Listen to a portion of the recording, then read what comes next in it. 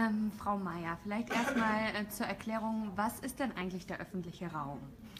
Also der öffentliche Raum ist, ähm, wenn man jetzt aus der stadtplanerischen Sicht, äh, ähm, wenn man es aus der stadtplanerischen Sicht betrachtet, dann ist der öffentliche Raum der Raum, den alle erstmal betreten können. Das ist die einfache Erklärung. Ein Raum, der zugänglich ist, wo alle ohne eine Eintrittskarte zu bezahlen oder sonst irgendwelche Vor, äh, Vorbegebenheiten die Leute haben, müssen sie den Raum betreten können. Das ist der öffentliche Raum.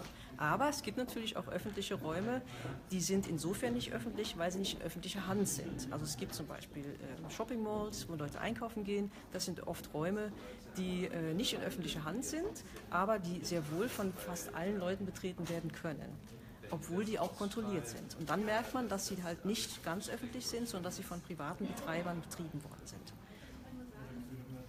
Ähm, und wie haben sich denn jetzt solche öffentliche Räume in den vergangenen Jahren oder Jahrzehnten verändert? Wie würden Sie das erklären?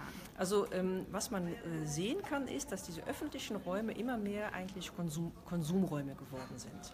Also das sieht man daran, dass in 70er Jahren, wenn man so Fotos sieht, dann sieht man oft, dass diese Marktplätze noch mit den Autos voll, äh, voll sind, die Cafés sind innen drin. Aber immer mehr ist es so geworden, dass die Marktplätze äh, sozusagen Terrassen geworden sind von Cafés. Das ist ein Ausdruck davon, dass öffentliche Räume Konsumtionsräume geworden sind. Also Räume, in denen wir hingehen, um unsere Freizeit zu gestalten, um da zu sitzen und äh, zu konsumieren.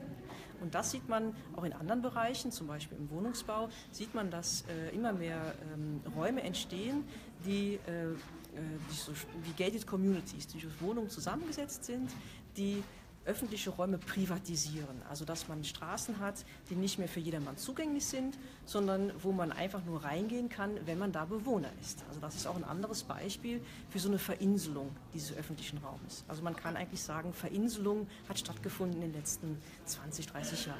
Und was ist ähm, das Problem an dieser Verinselung oder warum sollte da was dran geändert werden? Also das eigentliche Problem daran ist, dass man ähm, sozusagen exklusive Räume schafft, die nicht mehr für jedermann zugänglich sind, ist erstmal an sich kein Problem, weil man sagt, okay, wir möchten als, als Kollektiv gemeinsam wohnen. Ähm, das hat eine Qualität, klar. Ne? Also ist auch von, kommen keine Autos zum Beispiel rein, kommt niemand rein, der fremd ist. Dann ist das erstmal für ein Wohngebiet nicht so ein Problem. Aber es ist so, dass wenn man zum Beispiel auf der Straße lebt, und es ist ja eine Gesellschaft, in der wir leben, die ist hierarchisiert und da gibt es auch verschiedene soziale Gruppen, die werden dadurch an den Rand gedrängt. Ne? Ein, durch eine äh, Gentrifizierung, wie das heißt, dass Leute die eben darauf angewiesen sind, auf öffentliche Infrastrukturen, dass die immer mehr rausgehalten werden. Ne? Auch so eine Shopping Mall ist ein Beispiel, dass Leute oft, die äh, obdachlos sind, werden rausgeschickt aus diesen Räumen, obwohl es da warm ist, obwohl man sich da aufhalten kann. Und insofern ähm, ist es ein Problem, dass man, wenn man eine Gesellschaft sein möchte und so tut, als ob man nur Leute hat, die das sich leisten können, dann ist das nicht mehr reell. Wir sind eine Gesellschaft, die aus unterschiedlichen Gruppen zusammengesetzt ist. Und für diese Leute müssen Räume da sein. Und was würden Sie da jetzt konkret fordern oder was müsste man konkret tun? Also von der stadtplanerischen Seite aus würde ich äh, fordern, dass man auf jeden Fall, wenn man eine Stadt neu einrichtet, wenn man neue äh, Gebäude schafft, wenn man äh, Bibliotheken schließt, dass das eine ganz äh, mit Bürgerbeteiligung äh, geschieht. Das ist auch heute schon so, ist ja auch gesetzlich festgelegt. Aber dass noch mehr aufgeklärt wird, wie bestimmte Entscheidungen in, in der Stadtplanung ähm, stattfinden.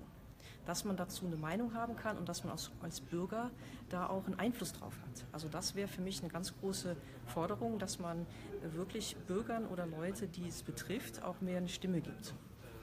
Vielen Dank.